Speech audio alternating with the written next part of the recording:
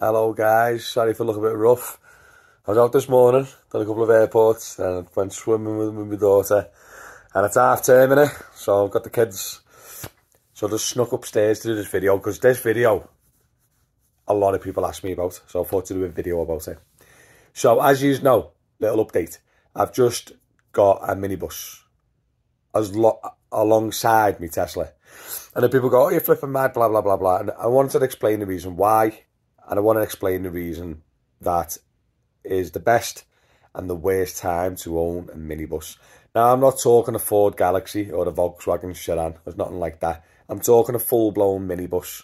Ford Tourneo, Vito, uh, my car, i800. Do you know what I mean? Now, I've had I've had this bus for a couple of months, and also I've had um, my own bus as well. Remember that Ford Tourneo plug-in hybrid they had?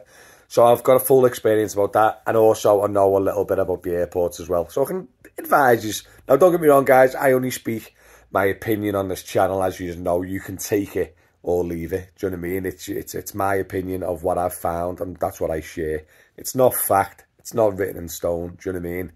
Now, before I start, as you know, I've, I'm launching, well, I've launched my own airport transfer company, DM Airport Transfers, UK-wide, any airport, anywhere in the UK. Make sure you book if you're going on holiday. Boom. That's the first thing I wanted to say. The second thing is I'm going to split the video up into two sections. So the first one is for Uber and the second one is for airports. Now, even though both are private hire, it's technically two separate jobs. Now, a lot of airport work, you can fit your Uber around in between your airport work. Or some people just like doing full full-time Uber and they hate the airport. Or people love the airport and hate Uber or taxis. So that's why I'm going to separate it. So now, for full-blown minibus for Uber. So let's start off with Uber XL. Now, generally, Monday to Friday, there's not much XL work at all. A lot of the weekend is XL work. So like, um, like girls going for brunches, um, stag do's, hen do's, groups of students gathering together, getting to town, uh, events uh, like like um, like concerts, like football, any big events, stuff like that. Um, and obviously nights out, weekends, that's where your XL workers. That's where your minibus workers on Uber. But generally, Monday to Friday, if there's not much going on, there's no football or concerts or big events, there's not much XL work. You get the odd little airport here and there, and you get the odd XL job where someone's forgot to change it back to X, and you get one person going on an XL. but generally, myself personally, I don't think it's worth getting a big minibus for just, just Uber, purely because 90, no, 80% of your work will be UberX, and then you've got the higher expenses, the higher diesel costs, the higher running costs, just in case that XL job comes in. So myself personal, personally, if you don't do any airport work and you just do Uber, even though I don't believe in it, you should just go in like a Ford Galaxy or a Zafira or something like that. At least then you can do the Uber XL work, but just bear in mind you've got no boot. So you can't do any airport work or anything because obviously once you've got six passengers, you don't have any boot for luggage. Now, that's generally Uber. So generally Uber XL, not much work at all other than events and the weekend and the odd little job. Now, minibus work is actually quite a fun fact. So, first protocol, I want to explain that even the airport company owners who has the first pick of the jobs still has to do the taxis and still has to go back to Uber, generally sometime of the year. You never week in, week out, completely chocker. You'd always do bits. You'd always have a little fallback, yeah, during the winter months, stuff like that. Now, the thing you've got to realise when you get a minibus, right, and this is one of the reasons why I kept both cars, is when that airport work's gone, yeah, are you happy to run around doing Uber in your big minibus? Go back to the start of the video. I've said technically it's not really worth doing Uber in the big minibus because the extra costs, the extra insurance, the extra diesel. Do you know what I mean? You, you, your work pattern changes. But if you're bouncing around town doing four five pound jobs, they all add up in a car. But you're not going to do that in a bus. So you might be parked up for an hour or two waiting for a job. That's 15 quid, 20 quid. That might not never come. Do you know what I mean? So your whole thing works differently when you're in the minibus. Now, when it comes to airport work, the summer holiday, aka the six weeks to eight weeks holiday when all the kids are off school, that is when your minibus makes a killing. It's chocker. For those six, eight weeks, airport work, minibus work, chocker. Like chocker non-stop. Because all the kids are off school, so you got your families and you everyone going away. Now, before the six to eight weeks summer holidays, about a month or two before that, or a month or two after that, is your car airport work. And that's all your older couples, your pensioners going on cruises, uh, all the couples, young couples, avoiding the summer holidays because the holidays are so expensive. Right? So when I had a minibus, yeah, during the summer holidays, you're chocker. Outside the summer holidays, you're either doing the odd minibus job, you're doing the odd car job in your minibus, which probably isn't worth it because of the price of fuel, and then you're going back to Uber in your minibus. Do you know what I mean? So that's the reason why myself personally, when I was looking at swapping a Tesla for the minibus, was the reason why I decided to get both.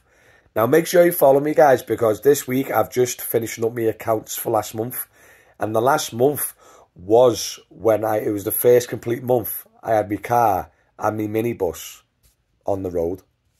So it would be interesting to see how much I profited from both vehicles and is it worth having a minibus? Now, if I can profit in the minibus generally throughout the year, I've got a minibus personally for the family to go to the caravan, go up to Scotland or whatever. My kids are too big to go squashing a car now with luggage. So that's one of the reasons why I got the minibus. So if I can take over in the minibus and profit a little bit throughout the year, but then park up the Tesla in the summer holidays and then smash the minibus work in the summer holidays, the minibus will then pay for itself. Do you know what I mean? So that's the reason why I've done it. So the, the Tesla's my main car. I use that mostly 85% of the time. Then the 10-15% of the time, the minibus, I'm only doing minibus work in it. So it's the most profitable work. I'm going from my house, Liverpool city centre, top off at Manchester Airport, back to my house, back in the car. Do you know what I mean? So I'm only using fuel for that job and everything else. Do you know what I mean? Where if you have the minibus full time, you'd be doing that profitable minibus job, but then you'd be bouncing around on Uber. You might have to do a car job to take yourself over. Now, if you think about a 65 quid car job to Manny from Liverpool, you're talking three, five quid toll.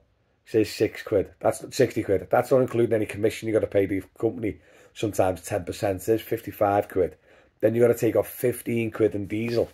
Says 40 quid. And then sometimes it's a two and a half hour, three hour job depending on traffic, depending on if it's a pickup or a land or a takeout. Do you know what I mean? So this is all the stuff I was trying to work out when I was looking at swapping the Tesla to go into a full minibus because obviously I am doing the airport work now, my own company, and I'm starting to get working now, especially for Liverpool because obviously that's where, I, where I'm from, and I'm be able to do a lot of it myself because I'll run out in the car or I'll run out on the bus. Do you know what I mean? Or if I've got a back-to-back -back job, I'll do the I'll go on the bus I'll take the car job out to Manchester, but pick up the bus job coming home. Do you know what I mean? But I think what I found in the minibus is when it's busy for the minibus, it's worth having a minibus. I know it sounds mad, but when it's not busy for the minibus, I don't think it's worth having a minibus.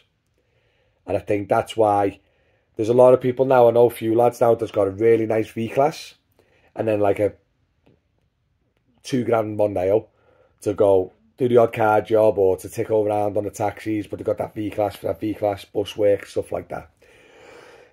I've done it the opposite way. I've got the nice, obviously, Tesla that's super cheap to run. Where then I've got the diesel minibus that's just parked up. That cost me about £120 per week parked up if I don't use it. Um, and that's the way I've got it like. But the main reason I've got the minibus as well is for personal reasons for the family. Do you know what I mean? Um, but yeah, but a lot of people say to me, is it worth having a minibus? It's an hard one. If you own your own airport transfer company, like I know a few of the lads who's got the minibuses have their own airport transfer company, yes, I would I would get a minibus and go full-time minibus. But the problem you've got is outside of the summer holidays or outside of the summer months, most of those company owners do their own work. So at the moment, between like August, September, October, since October last year, you, you, we got like, you're in like loads of cover groups or whatever, whatever, loads of people's groups. The odd job gets thrown in, the odd little job. Where in the summer months, it's carnage. Everyone's desperate to get work covered. Everyone's too busy. There's too much work. But it's in that six to eight week window. But then you've got to look at it and go, I get a minibus for that six to week, six to eight week window. Outside of that window, is it worth having a minibus? And that's the big question. Myself personally, I've, I've never found it. Unless you own your own company, like I said before, and you got the cream of the work to pick from, then I'd say yes. But if you're just a diver who's doing the odd airport run off the odd operator or a bit of Uber, it's probably not. Do you know what I mean? Um, myself personally, I've got both. It's only because obviously I've got my own company and obviously I've built up relationships over the over the years now who I help out other operators as well. So I'm ticking over, like, so I haven't done Uber for like a week and a half now, two weeks, because I've just been ticking over with airport work. Um, so yeah, so just to summarise, guys, the best time to have a minibus for the airport work is the summer holidays. Outside of that, you're best in the car, to be honest.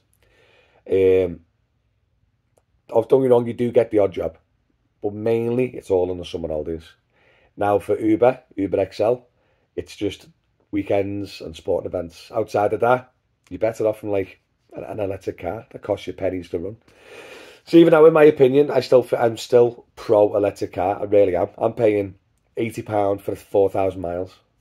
Where in a minibus, four thousand miles will cost me eight hundred quid to a grand. Is that right? Maths? Yeah. So, thousand mile costs me twenty pound in a car, and a thousand mile in the minibus is two hundred to two hundred and fifty. So yeah, so if I've four thousand mile a month, it's a grand a month for diesel. It's eighty quid in my car, and that's the reason why I got the minibus as long as my car, because I'm saving so much on fuel in the car. It was technically paying for the bus to be sat there.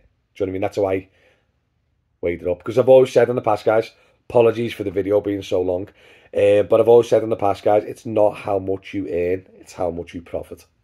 You could earn three grand a week and you could be paying out two and a half grand and you'd be on 500 quid. Where there could be someone who's earning 800 quid a week, but only and profiting 600 quid and earning more money than your three grand. I know lads in V classes that are earning 1500 quid, maybe two grand a, a week, but some of their expenses are like right up there, where they might be profiting same to someone who's bouncing around in a Yaris on Uber. Do you know what I mean? Because it's all about profit, guys. It's all about profit. It's not about income.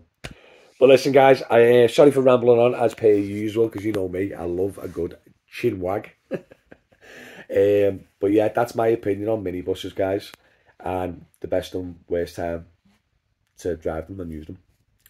Um, don't get me wrong. I'll find out when it, there's me talking all about this, and then I've got me video coming up with me accounts. So it'll be interesting to see was it the right decision for me getting both cars? And I'll find out when I do my accounts because I'll be doing um, as long as I profit with both vehicles and at the end of the month I've profited total or an okay profit, then I'm happy.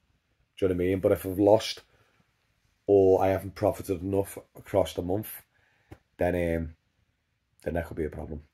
All right, guys, listen, as per usual, make sure you subscribe to the channel, follow me on TikTok, and definitely, definitely book your airport transfer with myself or any one of my other lads who um, can take you to the airport. I'm going to go now. I think I'm going to play maybe Fortnite or Minecraft or something, whatever the kids want me to do. Because uh, that's it. Summer holidays, you got to do what you got to do, haven't you? Easter holidays. But listen, guys, thanks for watching as per usual, and I'll catch you all later. See you soon.